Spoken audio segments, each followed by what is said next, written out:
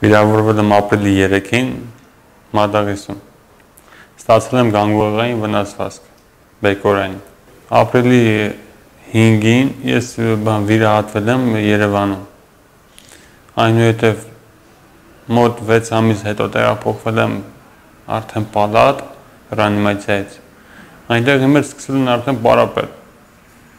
Պարապելն իմ հետ պարապել են Արսենյան Դավիթ ու Պայլան Դավիթ իր խմբով։ Հա։ Նու ապրիլից եմ սկսել ես իմ պարապմունքներս արդեն շուտ վերականգնվում եմ։ Հիմա աշխատում եմ ձերքից եւ ոտքից վրա։ Դեռ չեն աշխատում։ Ձախ կողմս աջ կողմը վիրավորանքս է,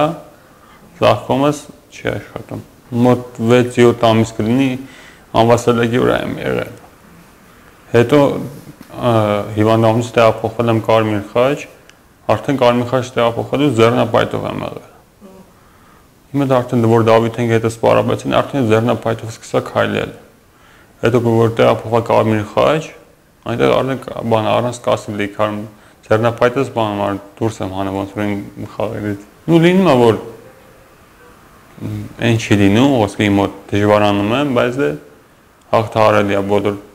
դժվարությունները